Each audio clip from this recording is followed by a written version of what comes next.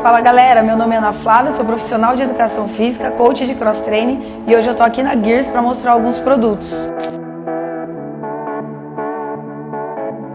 Vou falar agora da caixa, compensado naval de 15 milímetros, robusta, leve e pode ser utilizado em três alturas, 50, 60 e 75 centímetros.